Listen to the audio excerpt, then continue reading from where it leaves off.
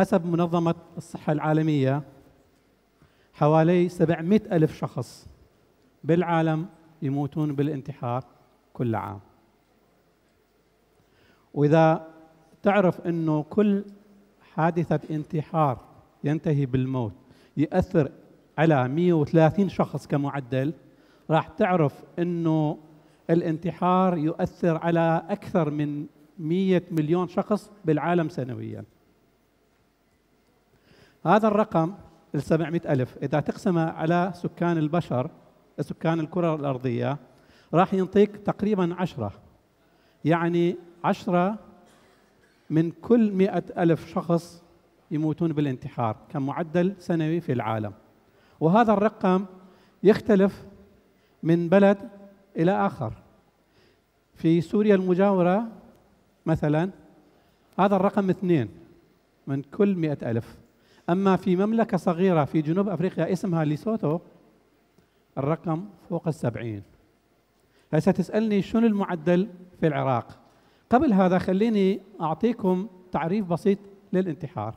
الانتحار هو إنهاء الشخص لحياته عمدا عن قصد يعني اللي يموت خلال تسلق جبل مغامرة أو رياضة أو أي شيء آخر ما نعتبره منتحر. لأن هو قصده مو أن يموت. الانتحار عبارة عن تضافر وتفاعل عوامل كثيرة اقتصادية سياسية اجتماعية نفسية بدنية. كل هاي الأمور تتضافر وتضيق الخناق على شخص يوصل إلى وضع يتوهم أنه ماكو حل ماكو خلاص إلا بالموت. مو حبا بالموت وإنما هربا مما يشوفه هو كجحيم في الحياة. حوالي كل واحد منا وكل واحد منكم أمور كثيرة تدفعنا نحو الانتحار وأمور أخرى تسحبنا وتحمينا. من العوامل الدافعة للانتحار من عوامل الخطورة اختلال في الأوضاع السياسية الاجتماعية الاقتصادية النفسية. وجود وتوفر أسلحة ووسائل تنفيذ الانتحار بسهولة. من ضمنها مبيدات حشرية وسموم.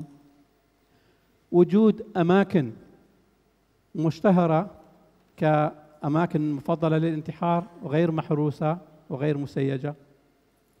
خيبة الأمل في الحب والعلاقات والعمل. أمراض وراثية أو أمراض جسدية مزمنة أو مستعصية على العلاج أو مؤلمة جدا كل هاي عوامل خطورة. النزوح عامل آخر خطر. اللي ناجي من الانتحار ونقصد بالناجي من الانتحار هو من حاول الانتحار سابقا وتم إنقاذه ما مات لحسن الحظ أو من فقد شخصا عزيزا عليه بالانتحار مثلي آني. الناجي من الانتحار إلى عامل خطوره أقوى من الآخرين. كل ما كانت عدد المحاولات الانتحار أكثر الخطورة تزيد. تعكس هاي الأمور وتعالج الاضطرابات يصير عندك عامل حماية. ضيف إلها ظروف عائلية مستقرة اللي متزوج وما مخلف يخلف هذا يصير عامل حماية. اللي مؤمن أساسا تعزز من إيمانه هذا عامل حماية. أنا منين تعلمت هاي المعلومات؟ لو سألتني قبل أربع سنوات وخمسة أسابيع هل ممكن في يوم من الأيام أنا أفقد واحد من أبنائي للانتحار؟ كنت أقول لا ما ممكن. إحنا عائلة مثقفة عائلة ناجحة ومحبة وأولادي عاقلين وإحنا ما مخليهم محتاجين شيء. أدخلناهم أرقى المدارس ووفرنا لهم كل ما يمكن أن ينطيه الوالدين من حب وحنان ودعم. ومع ذلك صارت إلي. كان يوم سبت خريفي مثل هاليوم. صحينا من النوم أنا وزوجتي وجهزنا الفطور اللي ابننا الصغير يحبه. أمه صعدت غرفته قاعدة من النوم يجي يفطر ويانا. وصرخت صرخة مدوية. وأنا عبالي هي وقعت من الدرج. فأسرعت وشفت اللي ما أتمنى أي واحد منكم وغيركم يشوفه بالدنيا بحياته. تصور تصحى من النوم وتشوف ابنك أنهى حياته. ابنك الآخر خارج المدينة لزيارة أصدقاء. بنتك غير مدينة تدرس. تخابرهم يرجعون بسرعة لأن أخوهم أنهى حياته بالانتحار. تصور؟ وإحنا بالمستشفى بالطب العدلي ننتظر الجثة الهامدة ندفنه. إجاني ضابط شرطة وسألني إذا كنت مستعد أنطي إفادتي. رجوته يمهلني يومين ينطي تعزية وقبل مشكور. وصرنا نزور مراكز الشرطة مرة أو مرتين بالأسبوع لمدة شهرين حتى يحققون ويانا كمشتبه بهم ضباط الشرطة كانوا مؤدبين رغم بساطتهم. لكني اللي صار لنا بالمحكمة أبد ما أنسى إلى يوم أموت. قاضي التحقيق طلب من زوجتي أن تعيد وصف ما شافته ذاك اليوم بالتفصيل الدقيق. وهاي ما كانت أول مرة. فبدت. ووصلت إلى نقطة انهارت. وارتمت على أقرب كرسي. القاضي صرخ فيها. قومي! وقفي عدل! تصور. يصيبك هيك مأساة. ويهينوك هيك ويعاملوك مثل مجرم حقير. كثير من الناس يعاملون الناجي من الانتحار نظرة دونية ويوصموهم بوصمة عار. أنا صار لي أكثر من مرة في مناسبات شخص ما يأشر علي خلسة كأني ما أشوفه. ويتهامس ويا اللي حوله. يقول هذا الرجال اللي كان يحسب نفسه ناجح ومثقف وابنه ما تحمل يعيش وياه. يا ترى شو مسوين بالولد المسكين؟ ولربما أنتم تعتقدون إن هذا الشخص الهامس شخص فظيع. بس الأفظع منه اللي هو كان صديقي مدة 30 سنة. من أيام الجامعة إلى يوم مات ابني بالانتحار. اجى للتعزية حاله حال غيره. وبعدها ما رجع لا شفته ولا خابرني ولا داز لي رسالة. ولربما يعتقد هذا الرجل اللي دائما يحكي وكان فعلا مبادر في مجال المجتمع المدني إنه بتصرفه هذا يحمي نفسه ويحمي أولاده. يحميهم مني أنا المكلوم اللي كنت أحتاج كل مساعدة ودعم وعطف حنان؟ لا. خطأ. اللي يحميه ويحمي أولاده مو ابتعاده عني وإنما تثقيف نفسه بشأن الانتحار. العوامل الدافعه للانتحار عوامل الخطورة وعوامل الحمايه منه والعلامات التنبيهية الدالة على الانتحار. هذا حال المثقف المبادر في مجال المجتمع المدني. فكيف الحال بمواطن لا يدعي الثقافة ولا يتشدق بعبارات فضفاضه عن مبادرات المجتمع المدني؟ كثير من الناس يسألوني عن سبب انتحار ابني. وأنا بعد وفاته دققت في هاتفه وفي كل ممتلكاته. ولم أجد جوابا لهذا السؤال. لكني تعلمت من خلال تعمقي هذه الأربع سنوات في موضوع الانتحار إنه علم دراسة الانتحار سويسايدولوجي يقول لنا بدل البحث عن الأسباب ابحث عن العوامل. العوامل الدافعة للانتحار عوامل الخطورة وعوامل الحماية. مثل كفتي الميزان. كل ما ثقل كفة العوامل الحماية انت في أمان واللي حواليك هم في أمان. عوامل الخطورة راح يقل. لأن في حوالينا مثل ما قلنا عوامل كثيرة تدفعنا للانتحار. فأنت تحتاج دائما تعزز من عوامل الحماية. إلك واللي هم حواليك.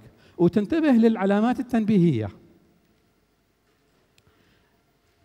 ابني أني لو كنت تشوفه هادئ رزين حنون وبشوش قارئ عميق في العلوم والفلسفة والآداب ويريد يصور مصور احترافي ويستمع للموسيقى الكلاسيكية بشغف يستمع إلى الفصول الأربعة لفيفالدي يحط الهيدفون على أذانه يسد عيونه ويقلد الكوندكتر.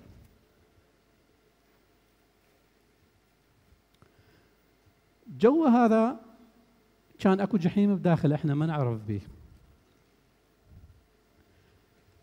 فهل كان موته بالانتحار مفاجأة؟ إلنا؟ نعم. أو هيك كنت أظن بالبداية.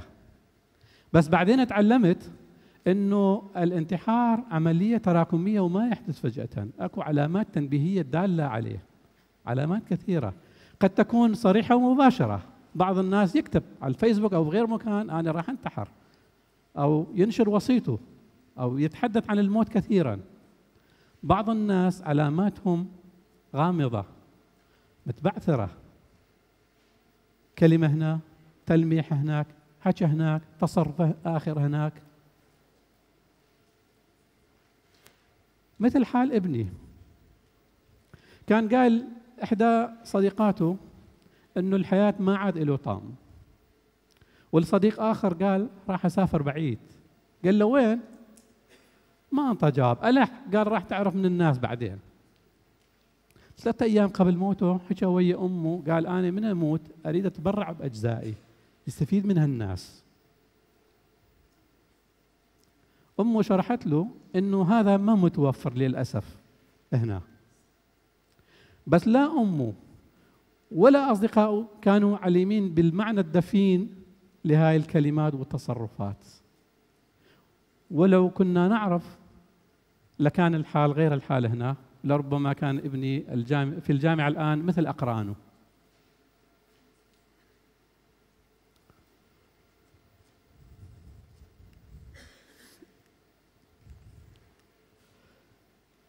بعد موته احتفلنا لأول مرة بحياته في بعيد ميلاده منتصف شباط. لأول مرة بدون وجوده معانا احتفلنا بزرع الورود في دور الأيتام وفي بعض المدارس. وبعدين أطلقنا حملة جمع كتب. ثم زرنا عوائل أخرى مكلومة ناجية من الانتحار. وعملنا كل هذا تحت اسم تبا فاونديشن. بعدين تعلمنا أنه هذا اللي أخذنا على عاتقنا منع انتحار ومساعدة الناجين يحتاج جهود أكبر وأكثر تنظيما. فأسسنا منظمة أجي. وبدل اسم ابننا تبا اخترنا اسم أجي اللي يعني يعيش أو تعيش كتأكيد لمبدأ الحياة وتأكيد عزمنا بأن الهدف مو تخليد ابننا ولكن منع الانتحار ومساعدة الناجين منه بالعمل مع الحكومة والمؤسسات والمنظمات والمجتمع وأفراده. فأسسنا المنظمة مسجلة رسميا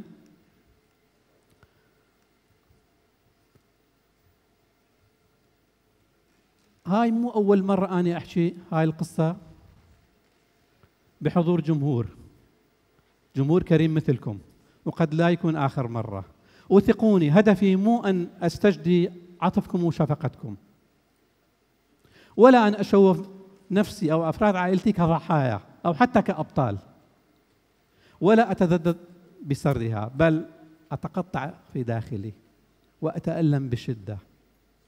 لكني أتغاضى عن هذا الألم من أجل إيصال رسالة. للحكومة أولا بأن نحتاج منها جهد أكبر لمنع الانتحار وللمجتمع وأفراده بأن يتكاتفوا ويعملوا على منع الانتحار بتثقيف أنفسهم معرفة عوامل الخطورة والحماية من الانتحار ومعرفة العلامات التنبيهية الدالة. وإذا تخرج منا وتاخذ مني شيء أقل أقل شيء أنا أحب تركزون على شيئين أو ثلاثة. ثقف نفسك واللي حواليك بعوامل الحماية من الانتحار ومعرفة عوامل الخطورة والعلامات التنبيهية الدالة عليه. وتذكر إذا أنت مؤمن إنه اللي ميت بالانتحار بين أيدي الرحمن رحيم. لكن اللي ناجي من الانتحار مثلي يموت يومية. يموت من يشوف شاب مثله مقتبل العمر. يموت من يجي يوم عيد ميلاده أو يوم رحيله. أو يشوف أي شيء يشبهه به. ويموت من واحد يحكي نكتة بايخة عن الانتحار. الانتحار مو موضوع للشفاء شقاء شكرا لكم.